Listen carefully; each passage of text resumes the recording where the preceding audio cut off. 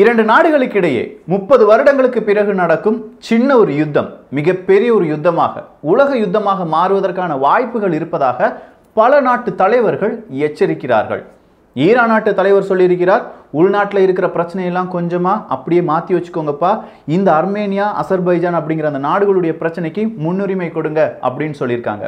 ஐரோப்பிய ஒன்றியம் பயப்படுகிறது. ஐநா சபை பயப்படுகிறது. துருக்கியும் ரஷ்யாவும் எதிரெதிர் முனையிலிருந்து போராட தயாராகி கொண்டிருக்கிறார்கள். அமெரிக்கா இந்தியா சீனா போன்ற நாடுகள் சைலண்டா வேடிக்கை பார்க்கிறார்கள். என்னதான் பிரச்சனை? அர்மேனியா அசர்பைஜான் இந்த நாடுகளுக்கு இடையே ஒரு மலைக்குஞ்சுக்காக இவ்வளவு பெரிய பிரச்சனை தேவையா? இந்த பிரச்சனை இத்தோடு முடியுமா? இல்லை இன்னும் பல நாட்கள் நீளுமா? அப்படியே நீண்டால் இது உலகப் போராக மாறுமா? இரண்டு பாகங்கள் முதல் பாகத்தை பார்த்து விடலாம். அன்பு தமிழஞ்சங்களுக்கு தமிழ் பொக்கிஷத்தின் வணக்கங்கள்.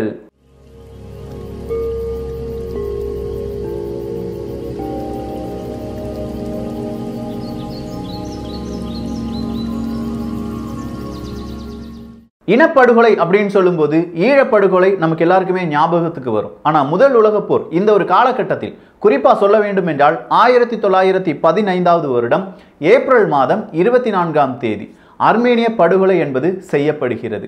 ஒட்டோமன் பேரரசால் அர்மேனியர்கள் அஞ்சு லட்சத்திலிருந்து பத்து லட்சம் நபர்கள் வரை கொல்லப்பட்டிருக்கலாம் அப்படின்னு சொல்றாங்க.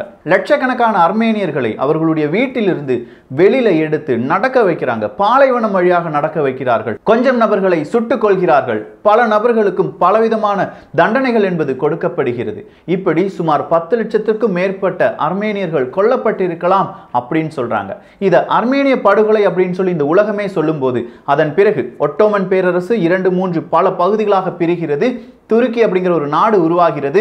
துருக்கி சொல்றாங்க அர்மேனிய படுகொலை ஒரு படுகொலையே கிடையாது அப்படின்னு சொல்றாங்க. இதெல்லாம் ஆயிரத்தி தொள்ளாயிரத்தி பதினைந்து அதாவது இந்த முதல் உலகப்போர் அந்த ஒரு காலகட்டத்தில் நடந்தது. இதை பாகம் இரண்டில் பார்த்து விடலாம்.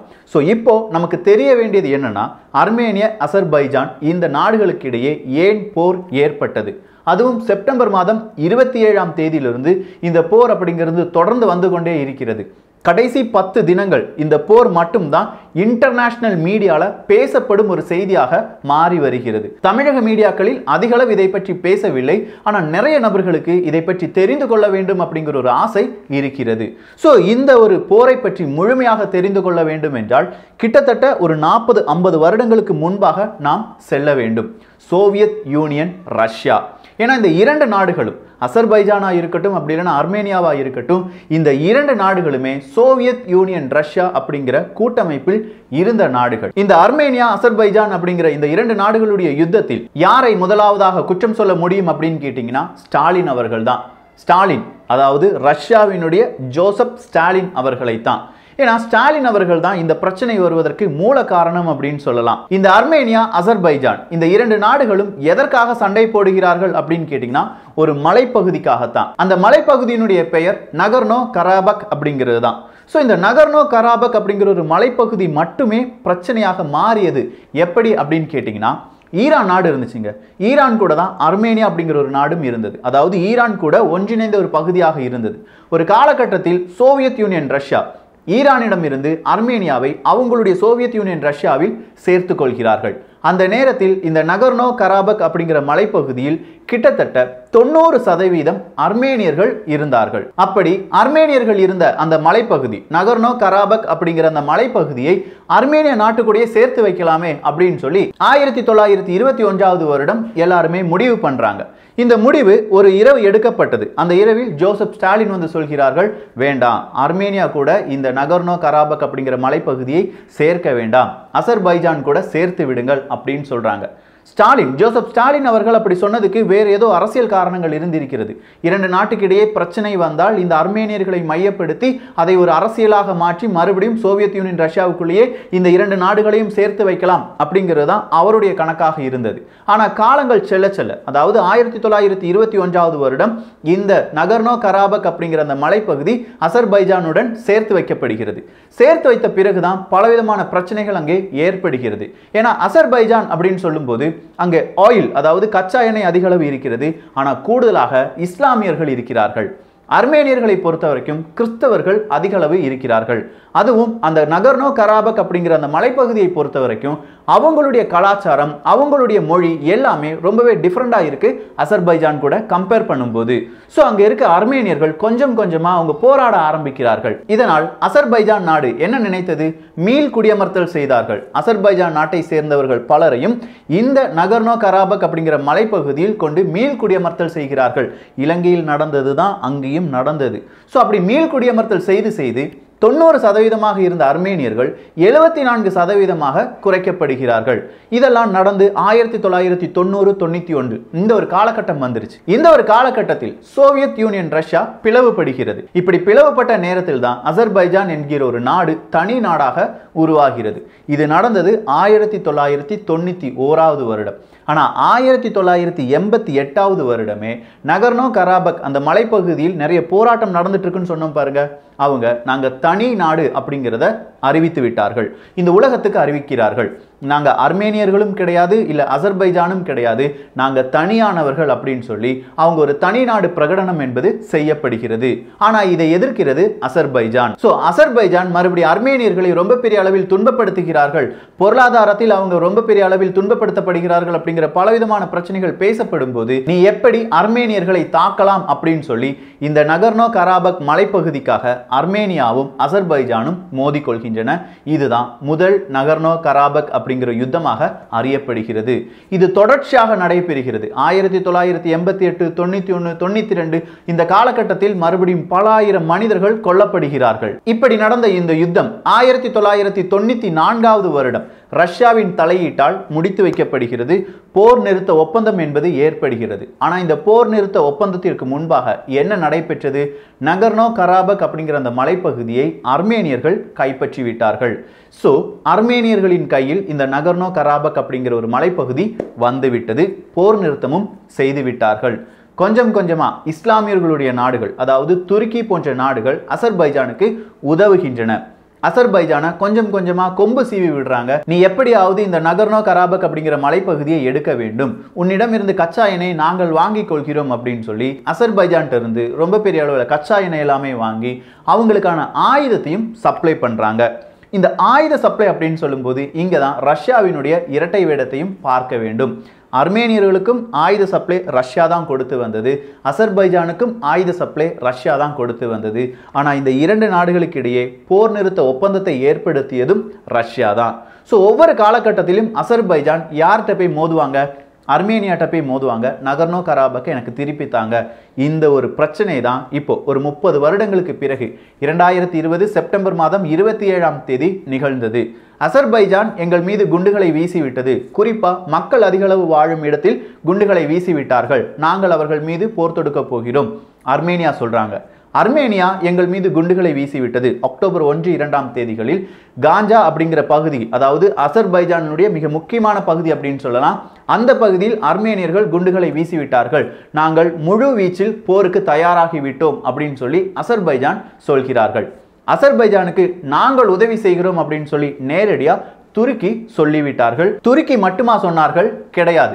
அசர்பைஜான் ராணுவத்தில் கூடுதலாக பாகிஸ்தானிய வீரர்களும் இருக்கிறார்கள். ஸோ இங்கே துருக்கி விளையாண்ட விளையாட்டை கொஞ்சமாக மறுபடியும் ரீகால் பண்ண வேண்டியதாக இருக்குது துருக்கி என்ன தெரியுமா செஞ்சாங்க? சிரியாவிலிருந்து இருந்து ரொம்ப பெரிய போராளிகளை இங்கே அனுப்பி வைக்கிறார்கள். எங்கே? இந்த அசர்பைஜானுக்குள்ளே அனுப்பி வைக்கிறாங்க. எல்லா ஆயுதம் பணம் எல்லாமே கொடுக்குறாங்க. நீங்கள் அர்மேனியாவுக்கு எதிராக போராட வேண்டும்.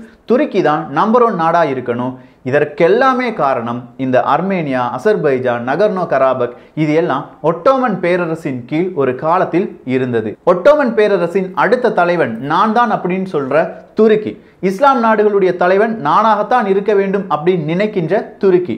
ஒட்டுமொத்தமா இந்த அசர்பைஜான் மற்றும் அர்மேனியா இந்த நாடுகளுக்கு இடையே கலவரத்தை ஏற்படுத்தி இதனால் பலவிதமான பிரச்சனைகளை ஏற்படுத்தி அந்த உடைந்து போன ஒட்டோமன் பேரரசை மீண்டும் ஒன்றிணைக்க வேண்டும் அப்படின்னு சொல்லி நினைக்கிறார்கள். ஒட்டோமன் பேரரசு ஒன்றிணையும் போது பேர்ஷியா என்கிற ஒரு பிரச்சனையும் மீண்டும் பூதாகரமாக மாறும்.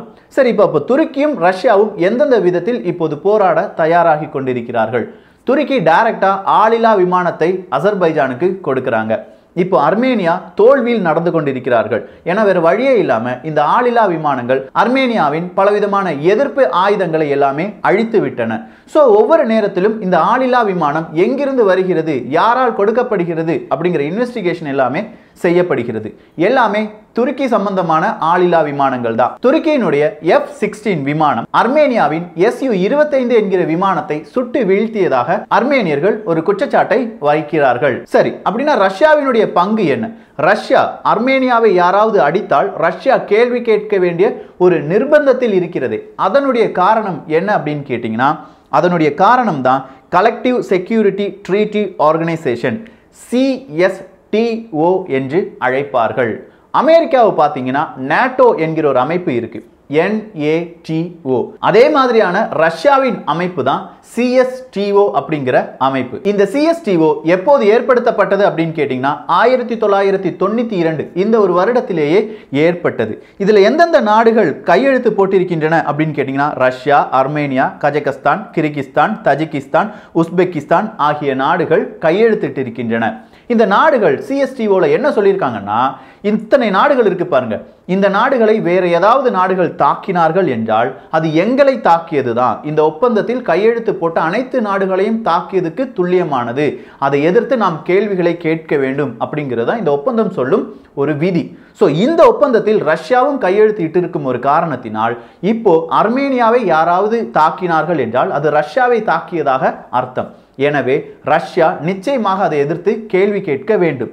சப்போஸ் ரஷ்யா கேள்வி கேட்காம விட்டுட்டாங்கன்னா இந்த சிஎஸ்டிஓவில் இருக்கிற நாடுகள் ரஷ்யாவை நம்பாமல் போய்விடும். எனவே ரஷ்யா அர்மேனியாவுக்கு சப்போர்ட் கொடுத்து தான் ஆக வேண்டும். அர்மேனியா நகர்னோ கராபக் அப்படிங்கிற மலைப்பகுதி நாங்கள் பிடித்தெடுத்து விட்டோம் போர் வழியாக எங்களுக்கு கிடைத்து விட்டது அப்படின்னு சொன்னாலும் ஐநா சபை போன்ற உலக அமைப்புகள் அது அசர்பைஜானுடையது தான். நீங்க கொஞ்சம் கொஞ்சமா அவங்களுடைய ராணுவத்தை வெளியேற்ற வேண்டும் அப்படிங்கிற ஒரு ப்ரெஷரை கொடுத்து வருகிறார்கள். ஒட்டுமொத்தமா இப்போ பார்க்க போனா இது துருக்கிக்கும் ரஷ்யாவுக்கும் இடையே நடக்கும் ஒரு ப்ராக்சி வார் அப்படின்னு சொல்லலாம். துருக்கி அப்படின்னு சொல்லும்போது நாட்டோ படை. இந்த நாட்டோ படை அப்படின்னு சொல்லும்போது பிரான்ஸும் நாட்டோ படையினுடைய ஒரு அங்கம். ஆனால் பிரான்ஸ் துருக்கிக்கு எதிராக நிற்கிறது. அதனால தான் இந்த யுத்தத்தில் இதுவரையிலும் நாட்டோ படையும் அமெரிக்காவும் வாய் திறக்காமல் இருக்கிறார்கள். சப்போஸ் நாட்டோவோ இல்லாட்டி அமெரிக்காவோ வாய் திறந்து விட்டார்கள் என்றால் நாட்டோ படை சிதறுவதற்கான வாய்ப்புகள் இருக்கிறது. அப்படி சிதறினால் அது சீனாவுக்கும் ரஷ்யாவுக்கும் மிகப்பெரிய ஒரு நன்மையாக மாறும்.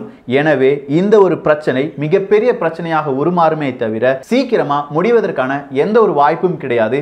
அப்படியே முடிந்தாலும் அடுத்த ஒன்றிரண்டு வருட வருடங்களில் மிகவும் பெரிய ஒரு பிரச்சனையாக மாற வாய்ப்புகள் இருக்கின்றன. இதனுடைய அடுத்த பாகத்தில் வேறு சில ஹிஸ்டரியுடன் உங்களை வந்து சந்திக்கிறேன். இந்த பாகம் எப்படி இருந்தது? உங்களுடைய கருத்துக்கள் தான் இந்த மாதிரியான ஹிஸ்டரியை நான் தேடி செல்வதற்கு மிகவும் ஊக்கமாக இருக்கிறது. ஸோ உங்களுடைய கருத்துக்களை இங்கே தெரிவிக்க மறந்து விடாதீர்கள். மறுபடியும் நான் சொல்றேன் ஜஸ்டிஸ் ஃபார் கலைவாணி என்பதையும் நாம மறுபடியும் ட்ரெண்டாக்க வேண்டிய ஒரு கட்டாயத்தில் இருக்கிறோம். இந்த ஒரு காணொலி பற்றிய உங்களுடைய கருத்துக்கள் இங்கே வரவேற்கப்படுகின்றன. எல்லோரும் தமிழ் பட்சத்தில் இணைந்திருங்கள். தமிழ் பட்சம் சேனலை சப்ஸ்கிரைப் செய்யாத தோழர்கள் தோழிகள் தயவுசெய்து சப்ஸ்கிரைப் பண்ணிக்கோங்க. நல்லதை பகிர்ந்து நல்ல சமுதாயத்தை உருவாக்குவோம். நன்றி வணக்கம்.